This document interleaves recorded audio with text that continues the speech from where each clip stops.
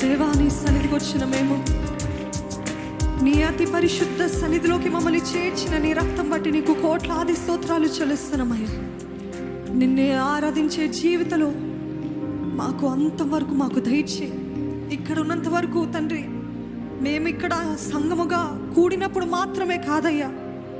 మా దినదినము ప్రతి గడియ ప్రతి నిమిషము మా జీవితమే ఒక ఆరాధనగా ఒక గీతముగా ఒక కీర్తనగా నీవే మార్చమని అడుగుచున్నానయ్యా.